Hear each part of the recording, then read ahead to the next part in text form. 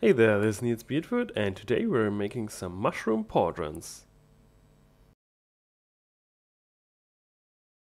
Get your pattern printed and cut out and prepare your leather. We're using 3.5mm thick veg tan leather. Moisten it completely from both sides, this way we can shape, tool and mark everything on it.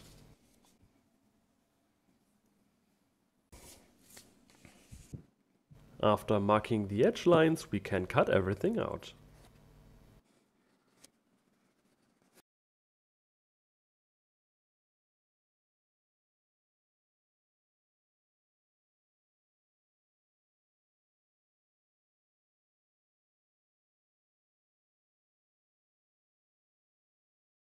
Now we can transfer all the gray lines for tooling also on the leather.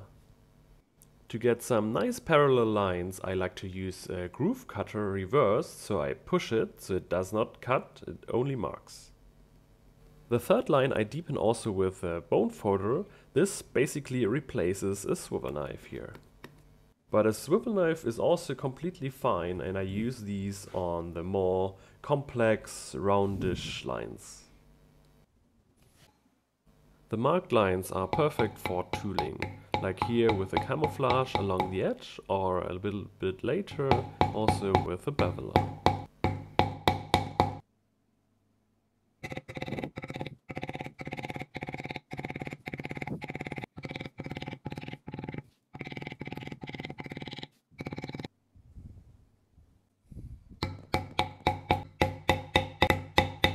A stone hammering into the leather comes nice for giving everything a little bit aged look.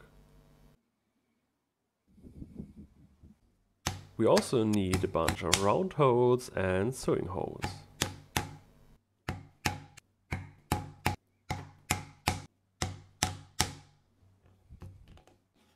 Also we'll want to bevel the edges here. To shape our piece a little bit you can use any kind of hard ball and use it to shape here the sides a little bit more roundish. Also I press and bend these edges a little bit to make them stand out a bit more.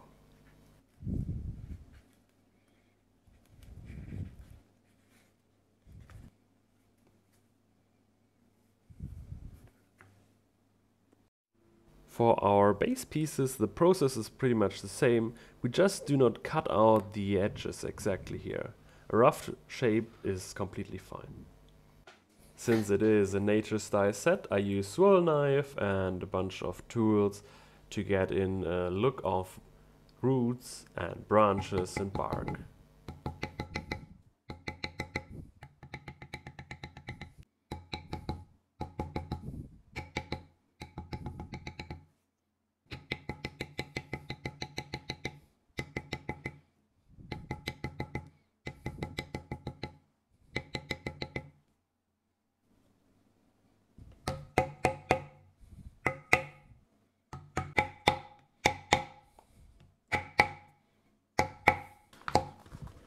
We also want to give our base piece already some rough shaping. Especially important are these edges here shown that are bent outwards. For dyeing I'll always like to use my airbrush and I start with a clear coat of green and then go also with some dark brown along the edges.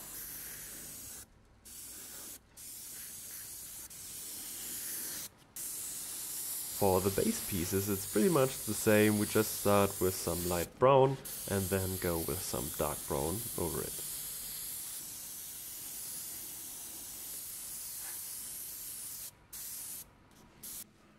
Next up we go for some resist over it to prepare everything for the antique gel and protect the leather and the dye. Also put some on the edges and then you can burnish them. After your resist is completely dry, we go over it with some antique gel, just put it everywhere and then wipe away the excess. And another coat of resist to protect the antique gel as well. To make sure that the top pieces stay in the shape we shaped it, we use some scrap leather and glue it on the flesh side.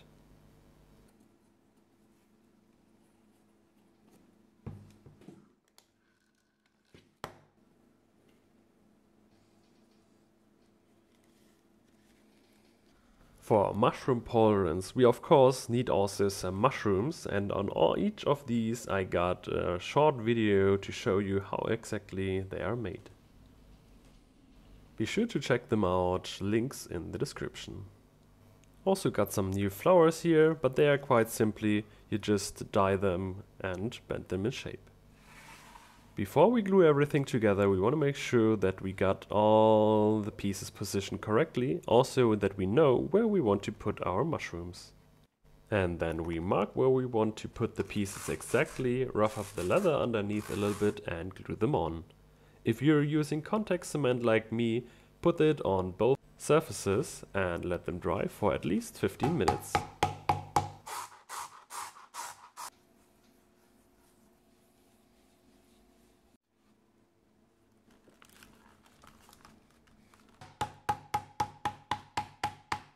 Before everything dried completely, it's also a good idea to make sure that the rough shape is maintained.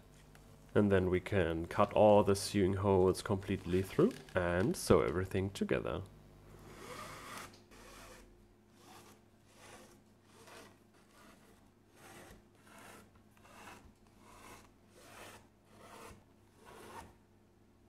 Once you reach the position where you want to put a mushroom on, just press them underneath the leather, cut the holes completely through and sew them on as well.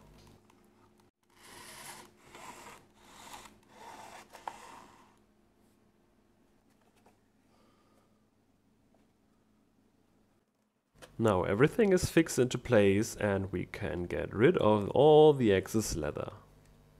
Cut it away exactly as possible, then sandpaper it, bevel the edges, re-dye them, put on some resist and then burnish them. Also we want to punch all our round holes completely through. Now we can moisten the leather from the flesh side and make sure that the shape is exactly like we want it.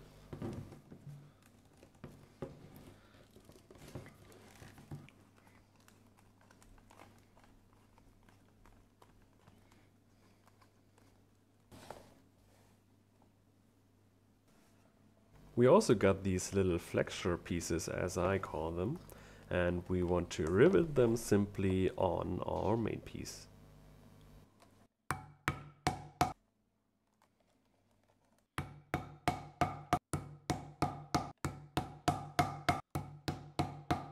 We also need to attach our pauldron somehow, so this is what this closure piece is about. The exact position of these holes most likely will change a little bit over the course of the process, so this is why we did not punch them already in advance.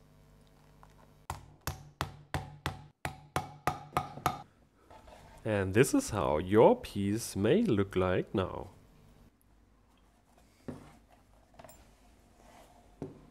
We simply have to do it pretty much the same manner for all the other pieces as well as for the other shoulder and we're good to go.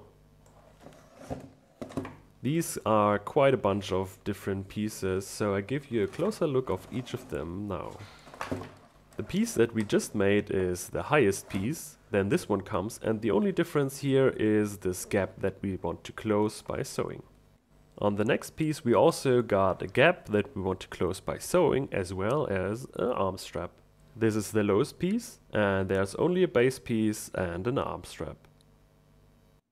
To connect them all together I like to use some flexible strong straps which are here from backpacks and I simply open a hole inside with an awl and then put a rivet right through the hole.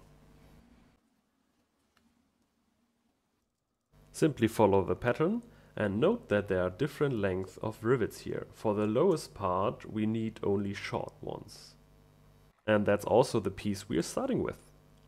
Put the rivets from the straps through the holes and simply rivet them on.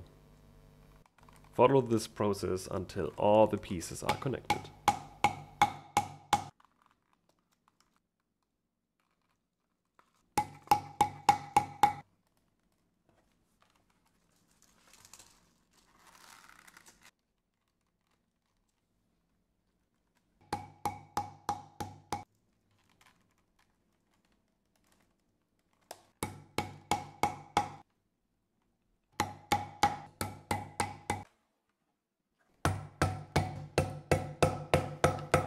And to connect the shoulder armor to yourself, I like to use some kind of this system to attach it to whatever I like.